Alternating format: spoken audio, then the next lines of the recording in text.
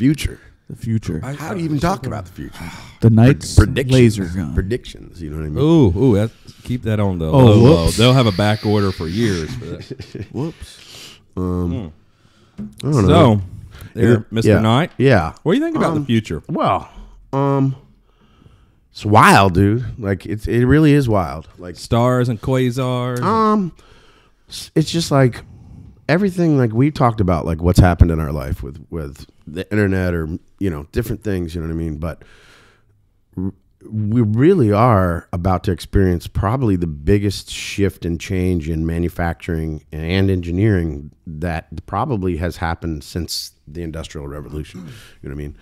Um, yeah. if not more, you know. And the Probably. way, is amazing all that stuff. Uh, it's like we're just accelerating so much faster. um, yeah, I We've mean, seen it in our lifetime, but now, oh, yeah, I mean, you figure like in our lifetime, pretty much CNC machines have you know came about and computer computer aided you know drawing and um and engineering. Um, but that it's all about to go wild. You know, it's about to like make this crazy shift, and it's like all the engineers and all the the ways that we've always built things are about to be completely obsolete you know? And it's like but we're still going to be building the same stuff. Like do i really see it like you know like you said do are, are like i'm not i'm not going to go that far into the future you know? I'm, I'm still as far as what we're kind of talking about here is i'm still talking about. Kinetic energy guns things that launch bullets you know what i mean? And you know we, we talked we mentioned and we went on the case telescope talk a bit talking about stoner and um that really should have been the should be the future. Uh, I'll straight up say it. I, I think that that's my biggest problem with all with the NGSAR and stuff like that is that they're not changing the case. and They're not changing the the bullet enough. Yeah, it's polymer case. It's this. It's that. But they're not making enough of a change in a cartridge case to make a full next step in a firearm. Okay, um, and I think that especially yeah, especially anything that's vehicle mounted or drone, any, you know, uh, by vehicle, I mean a mobile platform, which mobile platforms, we already know a drone, they got drones that are this big or up to whatever size. So mobile, mobile moving objects or stationary objects should be potentially electric driven guns. You know, they should not be gas powered, captured gas driven gas driven weapons. So the fact that we aren't thinking about that and case telescope lends itself to an electric gun so perfectly because of the way that it operates, you know. So basically, unmanned, like unmanning Absolutely. a lot of that, just Yeah. like the drones Yep. and Yep. and Yeah, um, and and of course the the sighting devices. You heard about that shot that they had in Israel, where they they shot that uh, I think it was Iranian nuclear uh, ph- physicist or something from like I don't know how far away, but he was in a moving car and they freaking shot him with a you know with a uh, probably a 50 cal or something like that, and it was all uh, all done over freaking you know I think there was a 1.4 second delay in just the communication network, so that gives you an idea of how calculated that shot had to be. And the guy was in a moving car. I think the the gun itself was stationary, but you know. The, the idea doing that, that a, the I would ide- have thought the that ide- was just a drone. the idea that a guy has to sit beside behind this thing anymore, we're not far away from from that not being a thing. Of course, do I still think that guys are going to walk around with guns? Yeah, absolutely. You know what I mean? And so yeah, I mean, I think know, it'll it'll start. Yeah, I, d- I don't doubt what you're saying. It, but it you know it'll start vehicle or fixed mount position absolutely. stuff. That yeah. makes a lot of sense. So it's like, okay, so I mean, the mag- White House. I mean, there's dudes on top of the White House with guns. right?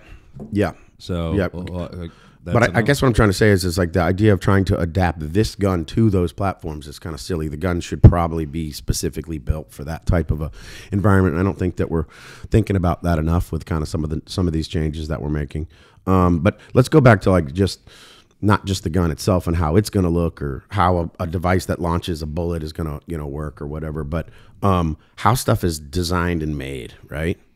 Like, f- well, first of all, additive manufacturing is about to completely wreck everything, man. You know what I mean? Like uh, the idea that my entire my you know KC, my dad's entire shop is full of machines that are potentially going to be obsolete in like ten years. You know what I mean?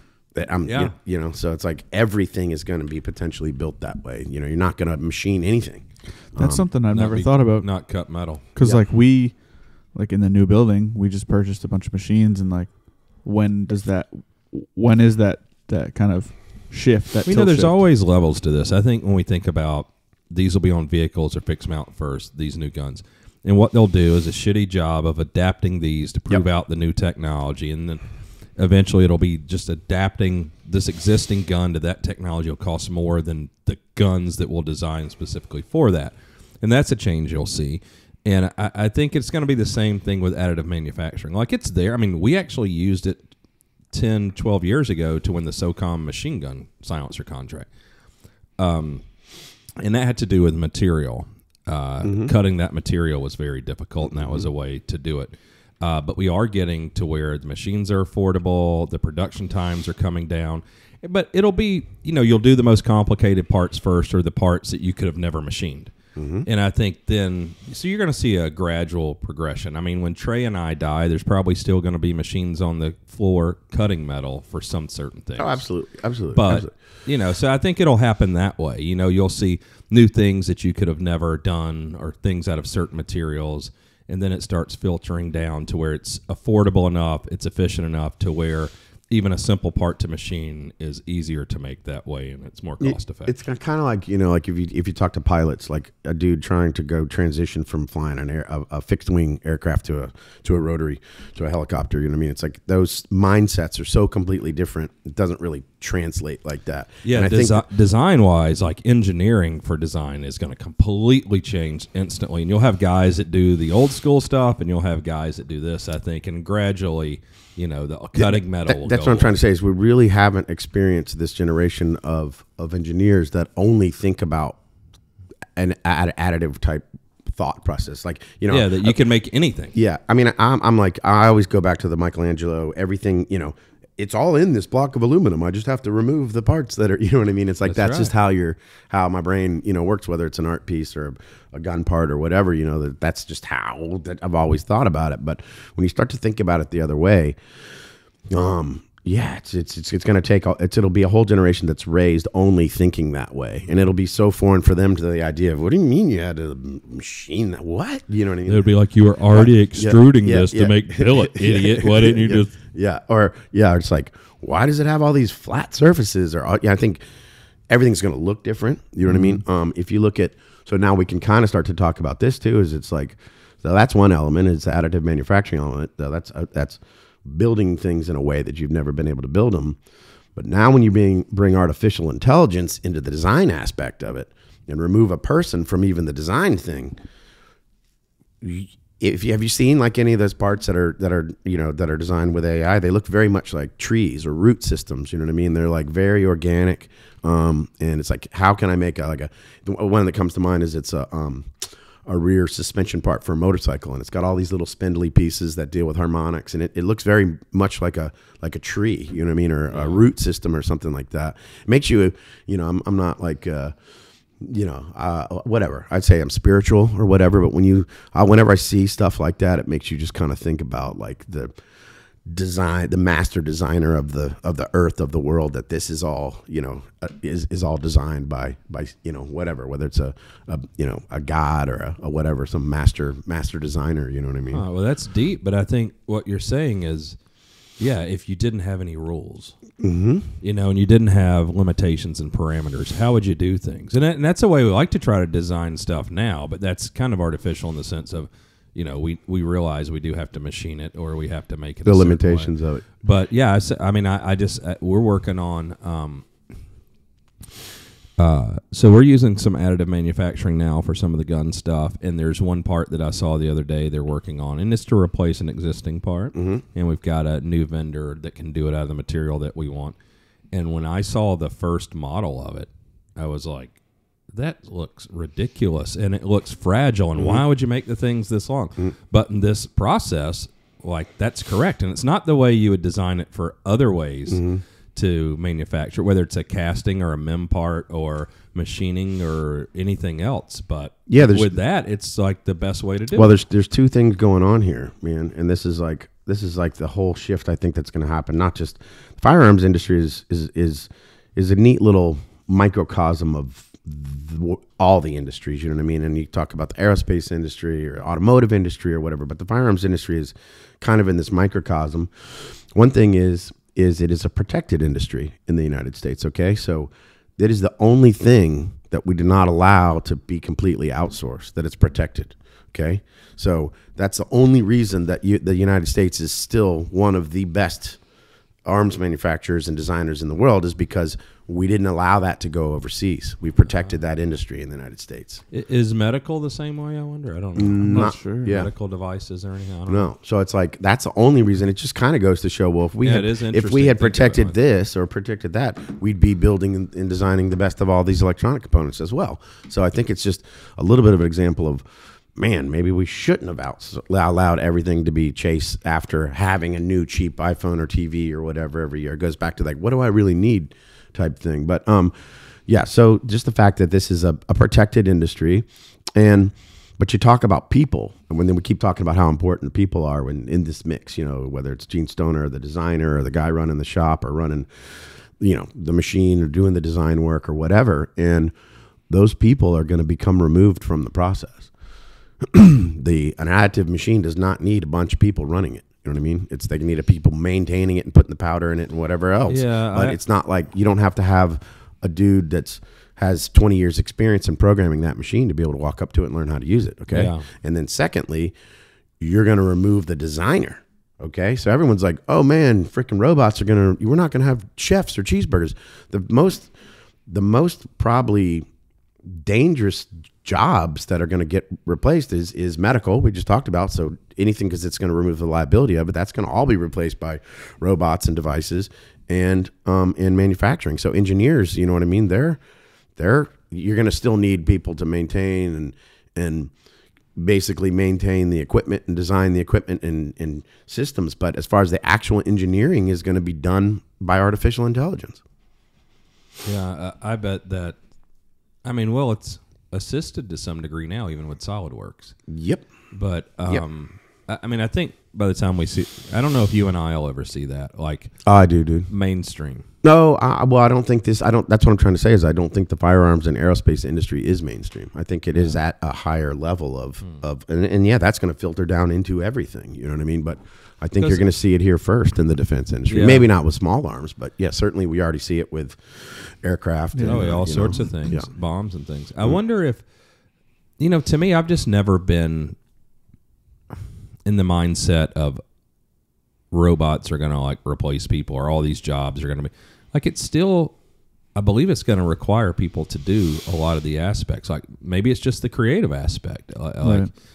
I don't know, but um, I'm excited about that. But I don't have like a fear of it. Or I don't have a anything fear, but I don't know. I'm not like saying I have a fear. Like I'll continue to invest in current machines and stuff as long as it's necessary for us to produce stuff. And you know, uh, we make money if you know, th- for the first time in my life, if we wake up and the flying car is in the driveway.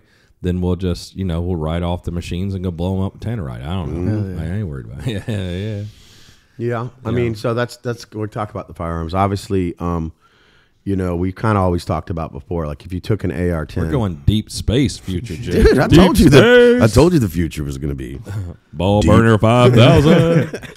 Future ain't what it used to be, man. uh, yeah. Party So, like it's nineteen ninety nine. Ooh, we miss you, Prince. oh yeah. Shout out to Prince. Um, yeah. So you know, it, we always said that like if you took a AR-10 or whatever, you know, it, whatever gun that was designed, you know, designed even 70 years ago, and put a modern optic on it, that you go to town and do work with it. You know what I mean? So it's like really, this gun is the same. It's been. Or not even that much better than it's been for now. We're talking about freaking 70, 65, 70 years, bro. Right? So, Yeah, I mean, incremental improvement. You're Yeah. right. I mean, you think about in our lifetime, you and well, I was in my last year of high school. You were out of high school. The first time I saw a red, like there was the Armson red dot. There's like the tritium powered thing, both of them, but an Aimpoint. It was the it was the Aimpoint magazine article with Schwarzkopf with dudes in the desert '91 Mm-hmm. had Aimpoint on top of the carrying handle on the M4. That's the first time I ever saw like a battery powered red dot. Aimpoint Yeah. two thousand. Stoner had one that was a some kind of a um a projection, you know, lens type thing that he Yeah. was messing with way back then. But anyways, what I'm saying is is like electro optics and and um site uh, target acquisition stuff is really what has propelled and, and and driven this type of weapon to where it is now, and that's the one thing that changes. Yeah, I mean, and that there's always a new scope, there's extended a new range. freaking. I mean, you, think know, all that new scope stuff is been since this war. Yeah. like 2001. Because think of what you guys were putting on your contract Yeah, guns fixed- before that. fixed 10 power, Yeah, frickin', fixed 10 you know what I mean? Yeah, what's Yeah. what's on? Yeah. Yeah, that's Oh, like a oh, that's got a variable. Yeah, this is like variable. a three to eleven or some crap. Yeah, yeah. Yeah, like you, you look at that, you know what I mean? How inc- how insanely better modern optics Yeah, are than optics just five years ago, Yeah. or ten years. So the op- and that's just optics. There's nothing really crazy in there. There's not anything electric in there. And then when you start to bring, uh, you know, electro optics and night vision and dynamic reticles, I think they call them disturbed reticles. Well, I think that's a terrible name. I'll say it here on freaking camera. Disturbed reticles, stupid idea. It should What- be what is that? I don't even know what that is. Disturbed reticles, uh, you know. d- has range finding and, and moves the reticle based off automatically. Oh, okay. As- Oh, yeah. yeah, but I've not heard that term.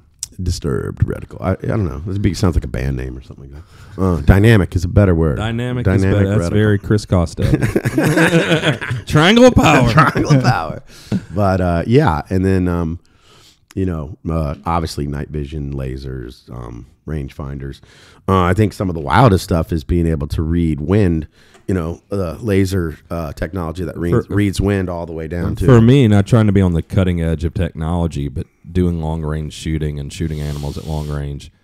wind is a bitch. That's the thing I'm most excited about. Like I've got good thermal and night vision from you. I've got you know the Trijicon, like the REAP-IR I use yeah. all the time, which is awesome for me for pig hunting and stuff. It's compact, lightweight, suits my needs fine. The thing that I need is to be able to read the wind at range very quickly. Yep. Mm-hmm. Yeah. Because that's- it, because it takes me from shooting an animal at 700, 800, 900 to 1200, 1300, you know? Mm-hmm. Like that's a big So difference. y- we kind of talked about that before. That whole mentality of a sniper that's can do all that and do it in one shot and figure it all out and do all the methods. Like if you want to read the wind, that's like there's no way around it right now. It's it's 30 years, 20 years experience out there doing it. Yeah, no, they have a thing.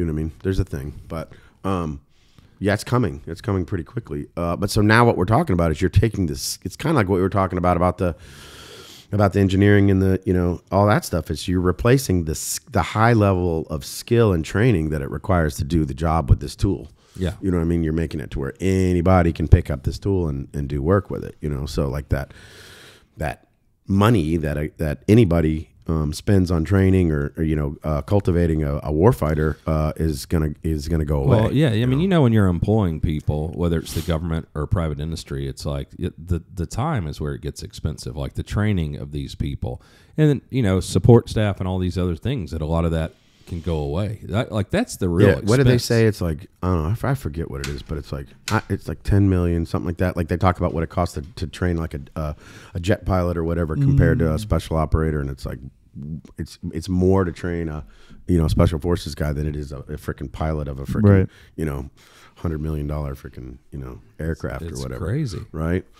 Yeah, Yeah, so- and that number's probably old, honestly. Yeah, yeah, yeah, yeah. I'm making probably making it up too. Anyway. Well, I mean, but think about it realistically. Like a pilot's pipeline is nowhere near of, uh, like a, one of these these tier one guys pipelines, or even the just special operators pipeline.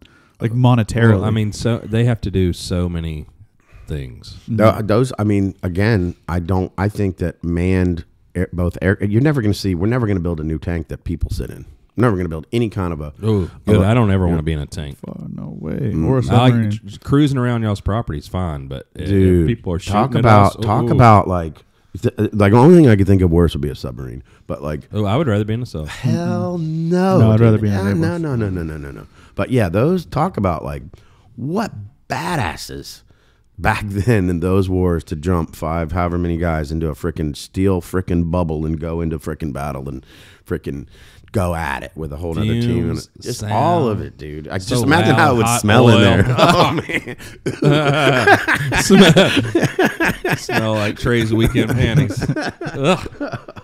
Yeah. So yeah, an aircraft because you're you've already exceeded the ability of a of a of a, of a vehicle to exceed the capabilities of, of human. A human can't live in it. You know, you'll knock yourself out. So I think I don't think we'll see another um, manned, uh, you know, F whatever, you know, F F twenty. That's cool. F-29, That's cool. yeah. In 20 years from now, the Knights Armament Tank Museum is going to be the the Yeah. manless, or uh, uh, yeah, the man-powered tanks. You're gonna have to rename it. You mean people sat in these things? Weird. yeah. Oh, that, that's yeah. I mean, it. You're right. It doesn't make any sense when you can have someone, you know, in Pensacola or somewhere, driving the the tanks. I mean, drone. You already have it going on. You know what I mean? Um. So yeah, I think that the thing is, is now we're talking about all all that. I think that we really are ready for a material jump. You know, and um, there's a couple things going on that you've had composites kind of coming on. Um, you've obviously with additive, you're going to have some wild stuff.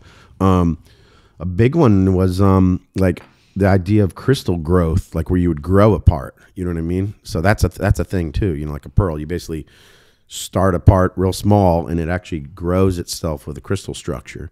You know, um, so that the, the part you know makes itself, so to speak, and that there's something in the in the DNA of the part where it grows in a certain structure, and you and you can control that. Um, so you're talking about materials. You know what I mean? We're we, we're getting like some some material growth, but I think we're really ready for a, a pretty paradigm shift in a big a big we need we need we need better materials to be able to go where where where we want to go with higher velocities where where, where if we want to extend the range and whatever of, of these devices we need better a better material to build barrels out of you know what i mean and how's that how is that going to be made you know It is interesting all those thoughts because then I just come back to like the simple part of writing the requirement. It's like, uh, well, w- y- you want to shoot farther, so does that mean you need a new cartridge? yeah I mean, is it sights, other technology, you know, uh, modifications to ammunition, you know, Mm. barrel twists like we're working on, but you know, probably being able to read wind, like all these other things. I don't know, yeah, if you need barrel life, you need barrel life n- new materials if we're firing the same old. Mm. I mean, velocity is always king, man. You know, M, M, mv squared. You know what I mean? Whether it's rotational or directional, you, velocity's king, man. So, Yeah, yeah, faster, faster, faster, faster, faster, man. Faster, better, stronger. it's like The Byron you and. I. That's our album name, Hours North. All right, so don't be don't be stealing that. That's trademarked. Trademark. Right, right, right. Um. All right. Well, well. To to bring it back from deep space. yeah.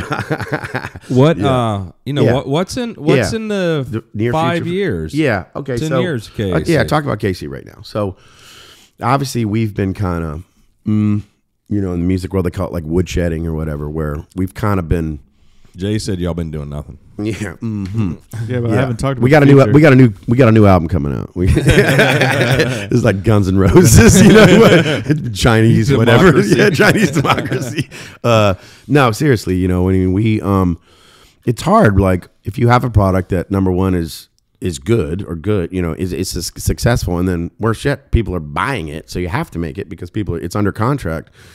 You don't really want to come out with iPhone 13 when you know what I mean. And the other thing is, I sure as ain't gonna tell everyone about it. You know what I mean? I'm sure it's not gonna frickin' put it out on the commercial market or talk about it. You know what I mean? So Well, just tell us. yeah, yeah. I mean, I would say in the near future you're going to see um, Knight's line um, hopefully shrink. We're going to have less SKUs, less products to build, and um, we're not going to potentially have a commercial and military product line. We're going to have a product line that we build, and it's going to be the same same product line, and we're, not going to build stuff with mm, the thought that this has to be a commercial product, so it has to be cheaper or whatever. To, to, to me, that's been a kind of a, a stumbling block for us is that we can get lower costs in volume. So if I build just build one thing and build more of them, then I can get the cost down as opposed to well, I'm going to use a cheaper material or a cheaper process to build that part. So you guys aren't going to abandon the commercial market. You're just taking a different approach. different approach, completely different approach. But you know, we talked about it earlier, and I think the demographic, you know, that that we're trying to focus on and serve now commercially, is vastly different than when you and I were younger in into guns. Mm. You know, we had access to them, but I, I- you know, with silencers, you know, ten years. 10 times as many people in silencers as 10 years ago. I think you've got uh, people can afford your How many now. AR-15s does does a dude want in his safe, dude? If one's not better or different than another, I don't care You know how many? I got. I want a Knight's armament one. You know? Same. Mm? Yeah, especially if it was like, oh, dude, this is the one that freaking so and so freaking you know has some kind of Saddam historical. Hussein. it's gold. Uh, yeah, but it's a I- special edition. Yeah, that's what we're gonna do. We're gonna ship out guns in cardboard boxes, and you don't know what you get, and you open it, and it's like, damn, another SR-15 16 inch. You know what I mean? Surprise, freaking! I'm gonna trademark that as well. That's hilarious. but I mean, I, I clearly have always sort of loved it, but I think um, I like that approach. But, Well, I think suppress- I, I don't think people can afford these. 20 years ago, not that many people, and I think there's way more people now who can. Well, I think that everybody looks at it, it's like, um, all right, I got freaking, you know, I got freaking, whatever, uh, you know, ten shit box cars. I'm gonna sell them all and buy a freaking buy a nice car. You know what I mean? So it's like, it's kind of like a little bit more of the utilitarian look at it, where you're not collecting something. You don't want a safe full of something, but I want one tool, one badass axe, one badass knife, one badass gun that I'm gonna actually use. Um, and I think that's a personal thing that you know you kind of go through with growth of, oh, I got to get them all. I got to have this. I got to. Say. It's like, man, I don't, I don't, I, I really in life even it's like you want to try to move away from just stuff and the encumbrance of crap. You know, it's like you talking about. says two guys that have a lot of things. Yeah, like and, and I, it- yeah, it's I'm over it. burdensome. It's Yeah. burdensome, dude. You, you know, I'm over it. Um, It's it's whether it's my house or whether it's a collection of something. Like recently, I freaking started. I just went just went on because I've got on a Facebook page because I had a ton of Microtech knives. You know what I mean? A box full of freaking, and you know they're super valuable. You know what I mean? And, then they just sit in a box. I don't enjoy them. You know what I mean? And um, so I started looking at them and and you know letting them go to somebody that'll appreciate them or or or collecting something that I would appreciate or use. You know what I mean? And I'm you know I'm uh, we've talked about it off camera, not so much on camera, but I'm super into these the old cars. You know what I mean? And they are such a maintenance nightmare, dude. Especially like flathead motors. You have got to start them. Um, The seals and stuff aren't made for modern fuels. They take like this incredible amount of, of maintenance or whatever. You know? Yeah, I don't like having any of that. Yeah. I always see it, and I see somebody has one, and I want one. And I remember that one time I Mm-hmm. had a classic car, and I was like, mm. Even even now, you know, like Thomas. They're hard, dude. Me, It's a lot of work. Like I don't have a giant garage here, but Well, there- you have a big garage. yeah, Just not- it's there's not two or three cars in it, and I honestly don't even know what's down there. Yeah. Like I know, I know. Well, I know two cars that are down there, and, hmm. and there's probably three, and I don't even know what it is. And and I don't even like to think about it because it's like, oh, I need to put that on the battery tender. I need to put air in tires. I need to go Yeah. start it. I need to drive it. It's like, oh, I wish I just had one car. Well, I mean, so that's I think the thing about guns is is like I always said, you know, the Apple, uh, the AirPods or things or whatever, because it's like I don't carry a gun, you know, typically on me, but I have guns around, you know what I Yeah, mean, and. I will on occasion misplace uh, my uh, pistols. I want to put those like air, air the, Oh, the Apple tags. pods. Tell you where it is. They're gonna be like, oh shit, yeah, that's where it is. But uh, yeah, so I think that you know having a safe full of guns or whatever, it's like, um, yeah, you're worried about it. You're worried about they're gonna get stolen. They're worried about um, Blood, you know, fire, all, all- everything. all that stuff. So, but I don't know. I think that um, you know, and, and everybody also, I feel like that's it's this Americanism of building, wanting to build something like that's not a thing in in in Europe as much. You know what I mean? Like you buy a car and you leave it. Like the Americans buy a truck and the first thing like, oh shit, I'm gonna put some rims on this. You know what I mean? You don't go buy a new Ferrari and like, yeah, this would look really killer with some freaking some new tires. You know what I mean? It's like Yeah, I've never really been into that. Like building I, I- thing? Yeah, I don't. I've never built a house. I've never really built cars. Mm, I'm Uh, into it. I only with I'm my, my trucks. I only change the bumpers when I dent them or rip them off, like on the farm or Mm. No, whatever. there's there's something satisfying about buying something brand new and taking it all the way apart, like before you even drive. That seems stressful to me. It is, it is. But I, I guess what I'm trying to say is, I think that's what that's one of the things about a Knight's rifle is it really was built not to do that too. In Yeah. fact, everything's tuned to a way, and I think that that kind of like there was this marketplace where the gun became so sta- eh, specifically the 556 not so much the 762 area but parts were interchangeable. The tolerances the tolerancing was squared away and manufacturers could build parts in different areas and put them together. A dude could put it together simply with minimal amount of tools in his garage and build put together a gun. Not not build a gun but put together assemble a gun. And i think that that was a huge market for a long time and that's what drove and it, you even talk about just the rail system and putting different accessories on there. It's like the whole barbie doll mr potato Oh, yeah, yeah, head situation what you're that we were kind of driven for a long time of this whole like ar-15 customization situation you Well, know well, what do you think? You know? Well, Jay, with with the Knights guns like this, like the SR twenty five, whatever this model is on the table in front of us, Mm. um, like that's an awesome gun, and you, you see, like I, I if used it, I use it, Yeah. I shoot with it. I don't have any that I want shooting. I don't even want to know what they're worth because Right. I'm sure, like if you told me now, I'd be like, oh man, I'm not going to go shoot that thing. Yeah, yeah. Um, but do most people like younger than me that have Knights rifles? They buy them just to collect them, or are they using them like commercially? I will say now because of how um, I guess unavailable they are, how hard it is to get them. The guys that are getting them are using them. No, they are. Um, That's at least at least the people I follow who have them because you can't you can't go buy five of them and hold on to them. Like right now, it's just not achievable unless you are a distributor or so a dealer. people buy them knowing they're collectible, but they want them for the reasons that they're like workhorse or ah, it's that I, gun well, they want to go I, shoot. I it. feel like that, and that's the thing that we've seen is like within the crowd that does actually go out and shoot a three or four thousand round course over a weekend. You know what I mean? That they shoot enough to actually appreciate what that gun is does different, whether it's Yeah, the- softer shooting, the it's lighter weight, 10%. um, or that the parts last longer. You know I just mean? talked to last week um, or last weekend when I was in Virginia. I just talked to somebody who uh, went to a class recently. The instructor was using a gun. Um, he ended up. This kid ended up buying that same gun. I won't say the company because they're not. We don't hit them. Um, and he bought that gun. Went to another another course. It broke down within the first however long in the course, first schedule or like firing schedule in the course. And he said, I was talking to him. He's like, I could have. I had the opportunity to buy a Knights. I could have bought a Knights, and I wouldn't have had this problem. Like now he's out. He bought this instead of buying the Knights, which he felt like he should have in his gut. But he's like, oh, but I shot this one. I liked it. Whatever. I went with it. And he was kicking himself. He's like, I know if I bought the Knights, I wouldn't have had a problem. Mm. And now I can't go get it. I would, Yeah. well, I would say that like there's you know this kind of comes from like the car thing. It's like when you put a car together, it's like called the shakedown. It's like something is not quite right. You know what I mean? And I think that's a thing.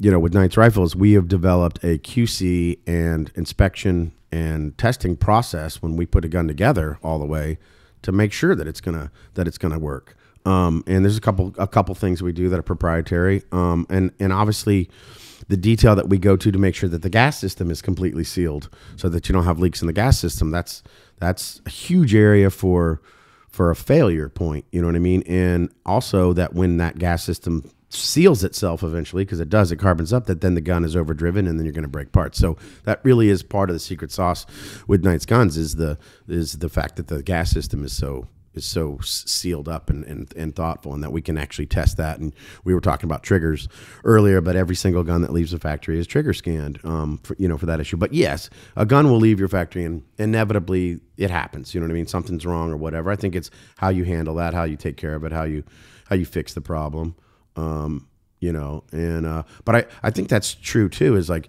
we were talking about that like you get a gun back and it's guys complaining about something you get it and you're like there's like two Knights parts on here you know what i mean you know they've changed all this crap and they wonder why it doesn't you know why they got a problem and you're like dude you know Yeah. freaking Well, there's a weird dichotomy with it too because guns are kind of like you like you said before, like a vehicle or like a where you do there is routine maintenance you have to do, but Yeah. some people get so wrapped up in that that before they even buy a gun or a silencer or whatever, they'll complain and say, "Oh, well, I heard this one like, well, what about my what about my baffle stack and what what are you going to do for me when I shoot it out?" It's like, "Hey, man, go shoot it out." Like you won't. You Mm-hmm. Yeah. can't.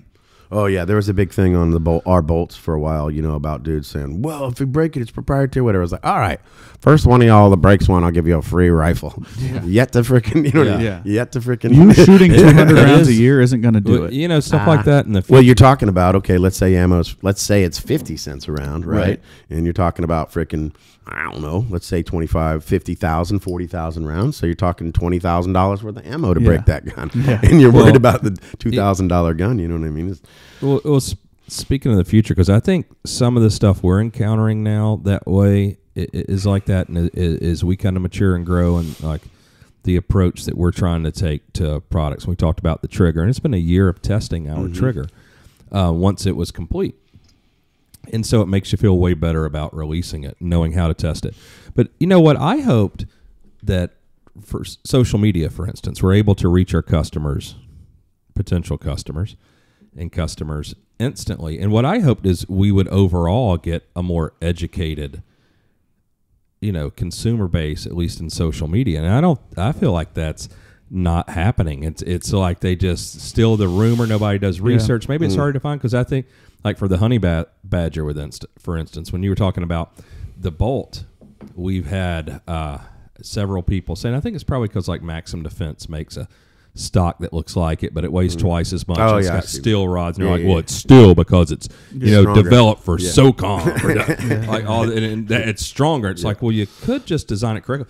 And I'll have I've had people several times at DMs that read this probably in Reddit or some yeah Josh Parker forum somewhere, Mm-hmm. and it's like, well, those are flimsy aluminum rails on the Honey Badger, and you know it can't be trusted for that much money. Why wouldn't you make them out of steel? steel, yeah. And I'm like, well, you know, I own the company, and anything like that that happens will come to my attention. Mm-hmm. You know, stuff happens when you, but I, that would be a design issue, and I'm like, I can tell you, we've never had, Had one break. Yeah. one break ever. Let's let's let's let's back So up a second. Why man. make it out of steel and make it heavy? Let's talk about this. You know what I mean? We're talking about the future, right? So, do you know how much ammo our parents and we had the access to and could burn through Knob Creek, dude? You understand what that was? And that that is gone. Right. That ain't that ain't gonna happen no more, dude. You know what I mean? And like the ammo situation and potential shortage and increase in prices drastically changed and will change the industry drastically. Yeah. That sucks. I mean, you think you, you and me both, and, and even I used to buy when I had my first range. Dude, those on- guys would shoot 150 to 200,000 rounds through those miniguns in a three day period, bro. I mean, it's crazy, but e- you know, even personally, I would buy pallets of ammo, and that's what was in my garage. And I might go, you know, I go to my range every weekend, and if I went for two days, I might shoot ten thousand rounds of ammo through Yeah. some belt feds. Yep. right. And like I was doing okay, and it was a lot of money, but not a lot of money. No. You know, you're buying foreign surplus ammo a lot of times, and it would be eight cents a round. Yeah, that's not a thing anymore, dude. So we could just go Yeah. blast. We could actually wear out barrels in machine yeah, guns. yeah. yeah. So I think you know, and the fact that you could buy a machine gun for, a, for a decent price, a belt-fed machine gun, or you could you know make a post sample Yeah. and shoot it and make a machine gun. Yeah, my, I mean, Um, my M2 that I've got. Well, I've got um, M2 transferable gun, a side plate gun, and I think I paid three thousand dollars for it Mm-hmm. new. yeah. And ammo that I bought then is Greek ammo, and I bought all of it that they had left. It was sixty nine cents a round, Yeah, yeah, yeah, linked. yeah, yeah, yeah, yeah, yeah, yeah, yeah. And now it's three dollars. in the 60s. three dollars a round for freaking for fifty cal if you're lucky, dude. Yeah, and this is linked. All I do is open the wooden crate, the metal tin. I pull the belt out, stick it in the gun, and go. And sixty nine cents a round. And the gun, you know, and that was a lot of money then too. But I loved shooting it. But the gun was like so big and heavy. It's like the tripod, the gun, the barrel, headspace, and timing. It's just not something that you shot every day. But I would shoot it like every month, and I would just, I would shoot it until I was tired. of So. I think that let's you know trying to to to, to talk about that. It's like I think that's like the you know you know how me and you always talk about twenty twos, man. I love me some twenty twos, dude. You know, Yeah, and it's $10 a box during COVID. So I think that like, well, but you know what I mean. That's that's all gonna- of us. I would say who I consider my peers, you, Chris Barrett, and all who have had access to, To all the guns, Yeah, yeah. all the machine guns, all the ammo. It was And what do we shoot all the time? We all love twenty two. we all love twenty two. Shout out to the twenty twos. Yeah. yeah. I, oh man, like the the Smith and Wesson uh, M and P, you know, fifteen. I freaking Yeah, they're a little $400 burn- 22s. Burn those things up, man. I mean, I shoot that. I shoot. Me and my son are constantly uh, after that. You know, what I mean, it's fun. You know, I've so I think a that four hundred dollar one with a three hundred and fifty dollar trigger in it yeah, because it's the thing you shoot. Oh man, I got into building um I got into building 1022s for a while, you know what I mean? And so I I, I you know built five thousand dollar 1022s, dude. Fucking thousand dollar shilling better. You know, and, and what's so crazy, you build one for, you know, four hundred bucks or whatever, and it shoots like just ever so slightly, you know, bigger group than a freaking Well, two thousand dollar to me, if it's reasonably accurate, like I like those little Smith and Wesson MMP twenty two things, Yeah. for four hundred bucks, and like if it's reasonably accurate, and then if you can get a good trigger in it, which that's an advantage over like those AR based. who makes a good trigger for that for that gun? You can put any AR trigger. Oh, yeah. right? or at least the original one you can. Yeah. Did they change it to where you can't? No, we just shot a bunch in Virginia, and it's the same thing. Oh I didn't yeah, even know that. You- yeah. You could put I one cha- of the I- ni- I put, had- you could put one of the M110 triggers in it or something. Yeah. Shoot Huh. better. You know, I mean, I don't know. So yeah, I think that that maybe is something we're going to maybe see in in in the industry is probably, um, 22s are probably going to become more and more for Well- you know for actually shooting and training. I think I mean, you know, you've been to Europe a lot too, and we know a lot of people there. And in most of those countries, yeah. they can't own a lot of guns, Right. so their 22 pistol is thirty five hundred dollars. Right, yeah. because it's like all they can have Mm-hmm. three guns and they shoot it all the time. well, I mean, have you uh like also you know so so go another level for, for training or whatever is like, man, virtual reality is getting pretty freaking. Have you played with like the Quest Two or whatever any of that stuff, man? And Well, that's like a four hundred dollar unit. You know what I mean? Aiden's tried to teach me some, and I'm like, it just it's like you trying to teach your dad this. Yeah, but I mean, I guess what I'm trying to say is like, I feel like probably for a lot of actual muscle memory events of, of becoming a good shot or mm. tactical situations that that's that's it's just like the F1 like the the the car dr- drivers Oh, they, they all train in a, in a simulator. Well, yeah, so- because it's so hard to do. Well, I, I think with the range, like I see, I just built a mini fix in two two three because I just built a 500 yard range here in New Hampshire, and believe it or not, that's far in New Hampshire. Mm-hmm. And but okay, so that's not difficult to shoot with a six five. So okay, let's go two two three. Then let's go twenty two. Mm-hmm. Yeah, Like start shooting a twenty two at two and three yards, and you can do a lot of training with that because.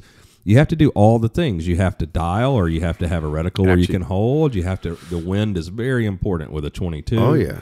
Um, It's always like we said, you know, Kelly Slater's from Florida or whatever, and we have Oh, like yeah. the smallest waves in the freaking world. You know what I mean? But then here's the the best surfer that's ever freaking lived was grew up surfing these small waves, and it's like, well, if you can surf that, then you can freaking translate to, easy. Yeah, yeah. So I don't know. I think that, man, I really the ammo thing is is is It's a is bummer. distur- it's a bummer, man. I I was and tell- the, and just the lack of machine guns, the ability that Well- people can't just buy a machine gun. You know, I, think it really screwed up. Yeah, I mean the future for that. I mean, so the gun. It's interesting when you and I were coming up, the machine gun thing. It was affordable. They were available. It was a cool thing Mm-hmm. Yeah. that we were all into. Yeah. But now there's not. It's, it's funny to talk about ammo pricing. He and I were talking last night. So to to future past right now. Um, we we were when um, they had the PDW and we're pimping that, and I remember his. I was down there and talking to his dad, and I don't know. We were on the range shooting, or we were looking at him in the bill, whatever. But it was the PDW, and I'm like, man, I want one of those. And he's like, I could probably get you one, but you could never afford the ammo. Yeah. And I'm like, really? Because Hornady was making the ammo. This, this, and this was incredibly expensive, but this will put it in perspective. I was like, really? How much is the ammo? And he's like, I have to buy a million rounds at a time or something. I was like, well, how much is it? He's like, 80 cents a round. and they, I mean, it was like saying $20. Yeah, you're like, oh my god. And he's Yeah. like, mm. Yeah, now I mean, you know, that's like a, it, we were talking about the 300 blackout. That's my, kind of my problem with that gun is you just can't go out and buy, you know, 10 or 20 cents around ammo. You know, uh, yeah. sucks, man. So I think that that kind of comes down to probably maybe precision shooting. Um, you know, maybe I, maybe have always well, thought that would become a become thing more of a thing. Yeah, or uh, you know, you know how I am about. Yeah, I love me some cowboy guns. Love revolvers and freaking the idea that I, I don't have a. You, You know, a Glock with 15 rounds in it that I'm shooting a gun. Yeah, that- don't go it, through it, makes the experience, you know, longer. You're more concerned about your shot. You're not running around in your Spider-Man pajamas. Freaking, yeah. yeah, even with AR-15s, you know that's one thing I like about the bolt guns because I, I was saying a couple years ago when it was probably the Hillary Trump election thing, and it's like ammo prices spiking, and it's like it used to be you couldn't shoot 50 cal that much or 338 Lapua Magnum, but there are more ranges being built, and I was like, when it was three dollars to seven dollars a round, you're like, oh, I'm never going to shoot that, but now. It's like we used to go out, we'd shoot ARs all day, we shoot a thousand rounds. It only cost you $120. So I'm like, for $120 shooting 338 or something, it can be all day and you can have a great time, you know, or you can go with 6.5. I mean, before But again, COVID, they, again, the, the, the, problem with that is having a range where you can go shoot at a thousand meters, or, you know, whatever. Like that, that's that's that's a lot. That's incredible luxury, you know, for that. A lot of people don't don't have. If Yeah, you go I- into a range and shooting past hundred meters, I wonder if it'll start happening though, because there's a lot more land in America than ammunition apparently. Yeah. Mm. So I don't. I mean, mm. no. For me, I, I just I don't have a huge chunk of land here, and I was able to put a 500 yard range in it. I don't know. That's nice. For not You got a of ton money. of steel on that. I saw yesterday. That's awesome. We're gonna we're going to probably triple the steel, because you know it's 500 yards. So what do you do if we want Right. if we want to practice Dude, that, for hunting? so- dude, we need to freaking have another freaking shoot, dude. We need to Oh, do like the sounds to silencer shoot, shoot? fucking brand new. We need to do the Oh. future sounds to shoot. Future- I'm calling it out right now. I'm saying what- that's what's up. That's what. That's in the near future. We need to do a shoot. Let's I mean. Those we should do it at like. Knob Creek or whatever, since they aren't you, you know doing it there. But I want to go somewhere like that. I want to drag some shit out, dude. That would be Let's so drag some cool shit out.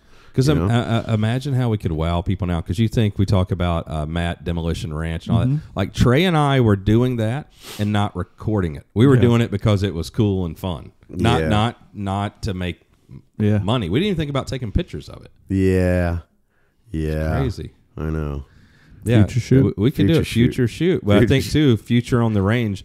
So what we do, so we only have 500. So we just we're gonna get a lot more steel. But you know, we got to get like two inch targets. Yeah, there's some small ones out there, and like, it was cool. We we were there yesterday filming stuff. Yeah, It was- if it's you're awesome. if you're at the cabin at uh, 300, there's a there's a four inch target. well, you- it's hard to hit. You ever like uh, you know, um, like those old videos that uh, that Dylan, you know, ma- made back in the day of shooting this freaking quad fifties at with with uh, you know, Out you imagine how how party that was to have a freaking because they didn't have you know. I mean, we were all shooting then, and these videos We're like, what? You My know? man knew how to party. Yeah, yeah, yeah. It's He- like Trey and I party and Motley Crue 1984 party. I was like, what? You know, and he was like all into like, you know, uh, videography. Like videoing was a big deal even then. You know what I mean? Yeah. So it's Those cool. videos were great, and I remember Yeah. too. Uh, they had RC cars or stuff. They would run out in the desert, and they'd Yeah. all start shooting them from the Yeah, helicopter and stuff. Yeah, that's that's a party. I, I say that's like, man, once you shoot a freaking minigun out of a helicopter, everything else kind of gets kind of boring. it's true. It really is. Like as far as machine gunnery, you're like, oh, let's just like I don't. I hate that that, that term. I hate load magazine. I hate load. Look at my thumb. I ain't got thumbs to load magazines, Look man. From loaded magazines, dude. It's like that from doing that. You know what I mean? When you- Yeah. You, know, you do. I can remember like the. I remember when we were doing this, and the the the HK Oh. designer was down there, and he was make. I was I was not loading magazines. He's loading them too, and he's like, Oh. "You load too," you know, yelling at me. I'm like, I don't want to. I don't want. My thumb hurts. You know. I Yeah, can remember shooting this gun, and then when we did the All American 2000, we were just all day long, literally. Yeah, isn't it great shoot. when people eh, are all like, "Oh, anytime you need help testing something." Yeah, oh, okay, bro. Okay. All right, Yeah, come on that's- down to Florida. It lasts about an hour. Yeah.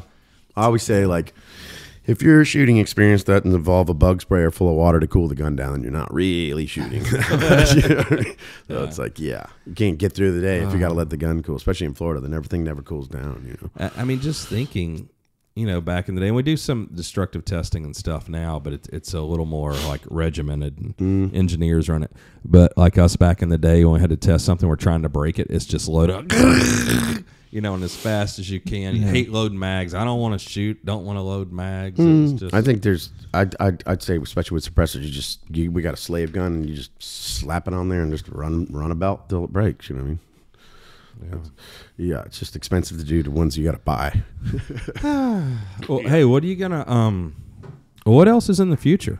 It, it's SR15s, SR25s. Uh, Yeah, yeah, what about that SR50? Is that going to be a future gun? Man, I wish I would love to make that gun. You know what I mean? I'd love to. I'd love to scale that gun down.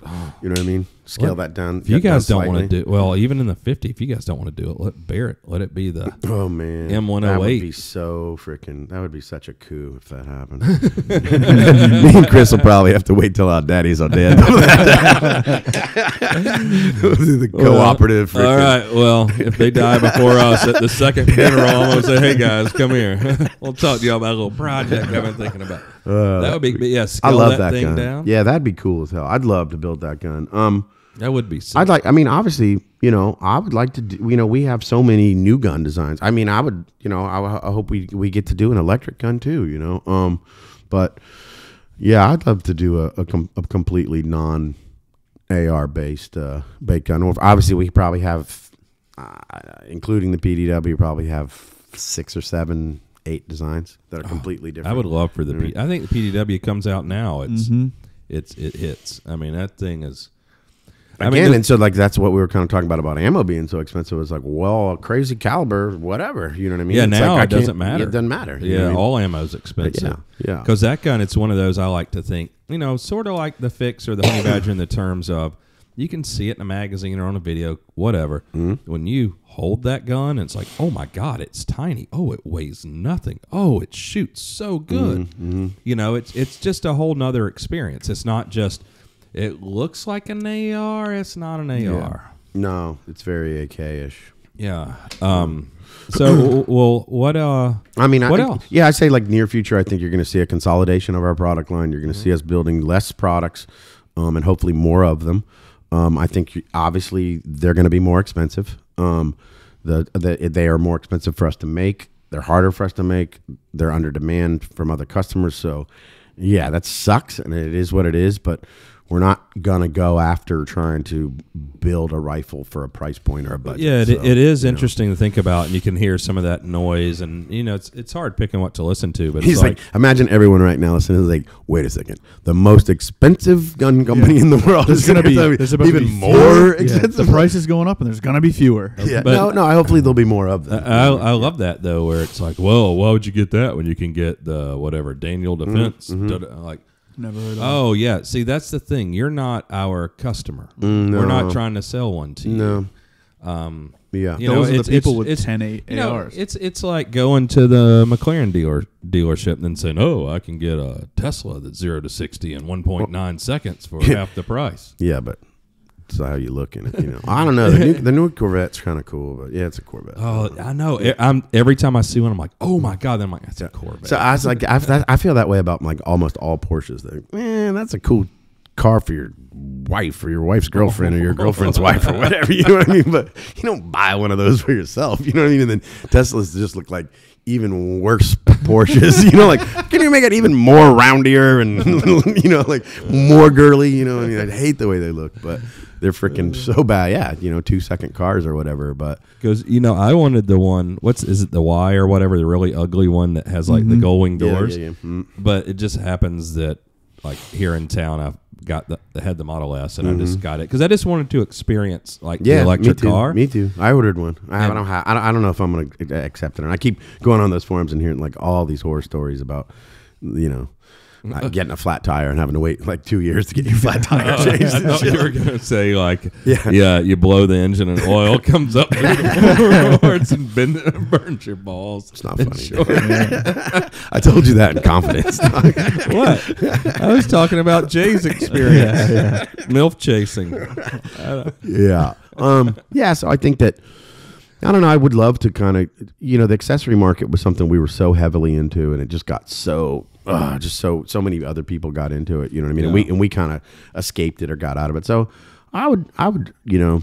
I would like to maybe see us, but I, I don't necessarily see that happening. I don't see us making a big push to do accessories again any Well, anytime. Oh, really? Yeah. Will you guys do? You think you guys on like the thermal night vision side, where you guys start to do like uh, maybe consumer based ones or smaller or handheld? Or, Yeah. Oh, yeah. I mean, that- obviously, again, you know, I've, I've, I've, I've talked about that. We've, we're we're in the middle of a you know a project for a digital uh, night vision device, and it has been probably the most humbling experience I have ever been through in my life as far as the design and birth a product. Like you're like, man, I'm freaking nighttime and coming, we're such badasses, and then you're like, oh shit, shit. You know what I mean? It's like that whole like, if it was easy, dude, everybody be doing it. You know what I mean? So you know, niches. That whole idea of you finding something you're you're good at and like owning that space in the market. Yeah. You know, but trying to be the best at everything. It's, a, it's, it's just I don't that, that it makes you it's going to compromise some some part of your product. You know what I mean? And we found for forever, you know what I mean. Our our I feel like our seven six two line is and has been the best in the world. Um, and they've been tested all over the world and adopted all over the world because they are the best in the world. But it's taken a while for our five five six guns to reach that same that same plateau of, of adoption. You know what I mean? I think we yeah, finally a are lot starting more to see that. noise in that space, and it's the barrier to entry. conti- yeah, for companies. Yeah. it's easier. Yeah. So so I think that's the thing is before I would say m- so much more of our market was commercial and um, you know we're finally at a point where we're seeing enough proliferation in the in the military market for our 556 line that it'll you know allow us to to build more of them to build them more specific for the, you know build a gun and and and then that's what's going to be available commercially or whatever but yeah I think that for the first time we kind of like we could have not made it you know what i mean like the, if this you know like when the CSASS happened and they were going to replace it with the hk and we, we weren't not going to have an m110 anymore and that all went away with the 6.5 and we're still updating and upgrading the m110s and managed to stay in the m110 game just because of the six the caliber Oh, so that so speaking of future, that's what it'll be. The, the M110s are becoming six five. Yeah. hmm Oh. So we're doing you know conversion kits, and those are going back out in the field or whatever. So that kept us in the in the in the M110 game. But we could have been like, you know what I mean? We could have been out of freaking business. You know what I mean? For the freaking for the M110, you know, really closely, and been you know replaced with the freaking with the HK gun, which it is never going to be as accurate as our gun, Yeah. um, and will never fit that pre- precision role.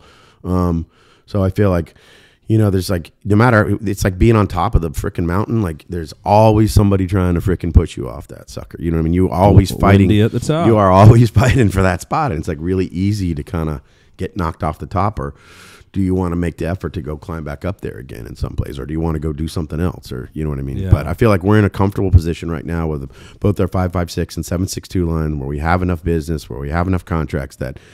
We're here to frickin' we're here, man. We're gonna stay. That's awesome. Yeah. That's awesome. I'm so excited to hear it. What Yeah. about you, man? You got any future questions for we? No, no future Roll out. questions. I just you got no. nothing. You're not going to add shit to this. They haven't done anything in a while. I'll just, let- I'll just let them figure it out. Oh, you said that. I was like, bitch, I'm gonna come on there on TV and freaking talk about this. It's like this. When is I was like, that's when I, I picked up the phone. I'm like, Kevin, I am coming. yeah. What he said is, I got some shit got- to say.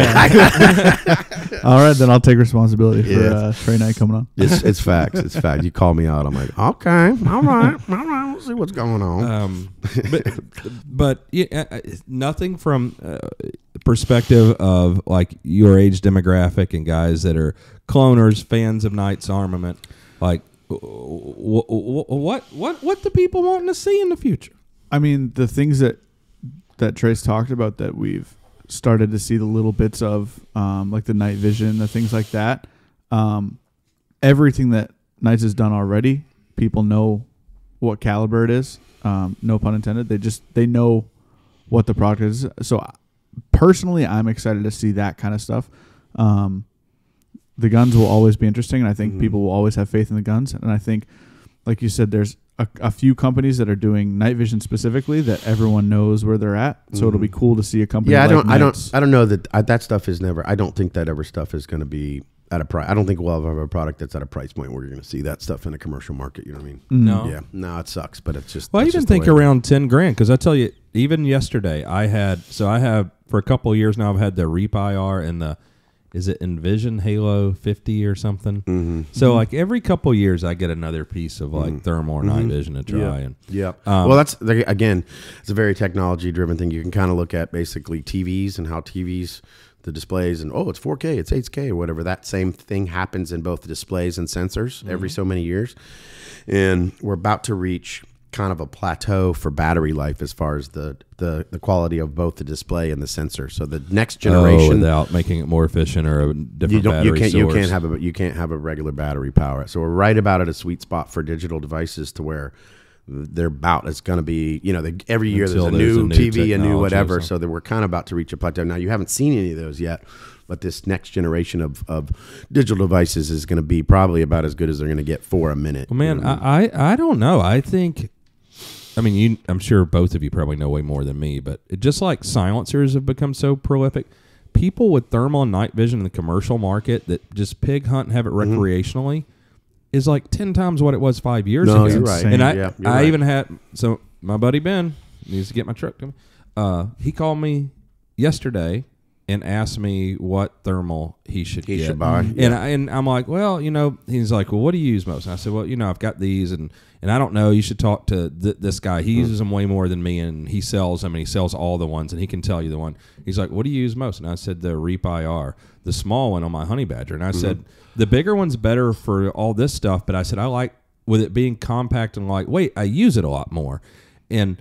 And he's like, "All right, well, how much is that?" And I said, "I don't know. I think it's like seventy five hundred dollars. A lot of money." He's like, "Oh, okay." Yeah, no and, problem. and I Yeah. think those stay sold out a lot. Yeah. Like, so people, I mean, there is a pretty Um, high price. I would point. I would say this is that there is a technology that's emerging that is n- a very affordable.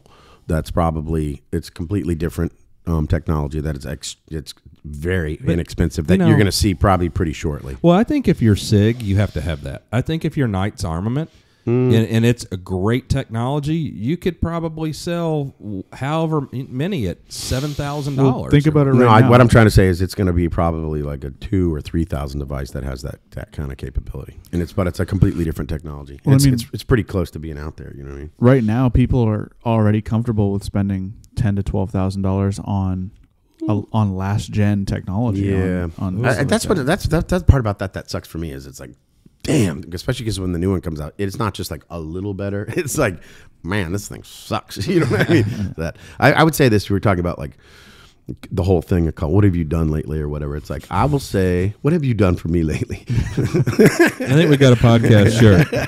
K A J K A C. What What have you done done lately? lately? what have you done for me lately? Uh, I And would say Trey, the ball burner five thousand. I would say I I, I, I, would hope um, that we're going to be able to drop some some of our new silencers here within the next probably three years or something like that. And Oh, that's dope. awesome. it's Yeah, gonna that's it's dope. gonna be badass. like awesome. you figure if I'm gonna make something that's or if I we I say I it's Knights Armor Company. Um, I'm gonna make something generationally better than this. Then it's gonna be badass. That's you awesome. know what I mean? And, and, you know, and you're That's gonna be able to buy them and everything. So I would say probably the guns are going to be very similar to what you kind of see, but probably what we're making for a military thing. But our silencers that are going to come out probably within the next three years are going to be, you know, cutting edge. And I'm, you know, excited for that. I want to, you know, get to that point, but it's also like you got to get through the contract so that we're building right now. You got to get through this. You got to get through the supply chain issues, all the shit that's going on. So Tough time to do new stuff now. yeah, it is. It is, especially when you're sold out of what you're making. You know. Yeah, it makes it hard when you have that back order. Want to jump on some new stuff. Yeah. Well, man, I think I think that's it. That's I it. think I got to take you to the airport. Yeah. yeah. Yeah. man, well, it's been awesome. Yeah. It's cool chat. It is, and, and I love you, and I missed you, and Yeah.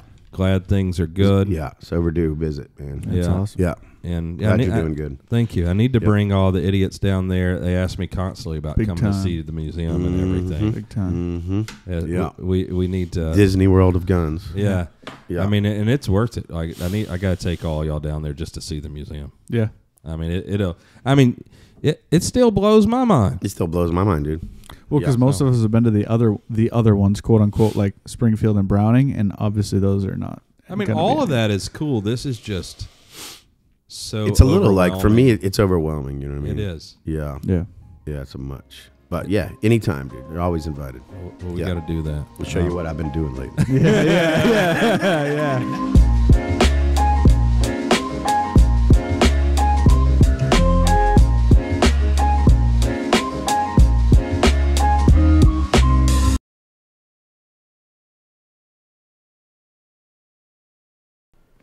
this looks chill and relaxed and trust me it is. It's not a lot of work. We get paid a ton of money for it. Like this is where we make primary income is doing this podcast. So please don't leave comments. Don't subscribe. Don't share it. Definitely don't leave a review.